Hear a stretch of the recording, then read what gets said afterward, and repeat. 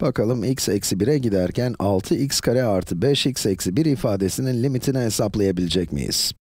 İlk gözünüze çarpan şey tahminen şu olacak. Bu ifade bir parabol grafiğini tanımlamakta kullanılabilir. Ayrıntılı bir ispat yapmayacağım ama bu parabol şöyle bir şey olur. Kolları yukarı bakan, kolları yukarı doğru olan bir parabol. Böyle bir şey. Ve gördüğünüz gibi bu sürekli bir grafik. Üstünde herhangi bir sıçrama veya boşluk yok.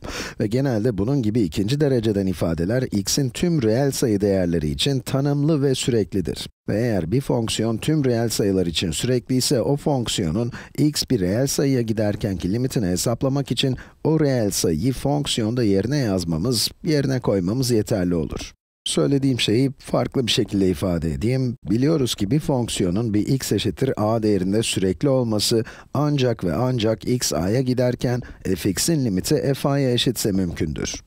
Bu parabol çiziminde pek bir ayrıntı yok ama kavramsal olarak herhangi bir süreksizlik de görmüyoruz. Sonuçta bu standart bir ikinci dereceden ifade.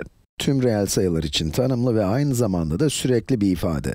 O halde bu ifade sürekli bir fonksiyon tanımlayabilir. Yani x a'ya giderken bu fonksiyonun limitini almak demek, a'yı o ifadede yerine yazmak demektir. Ve bu örnekte a eksi 1.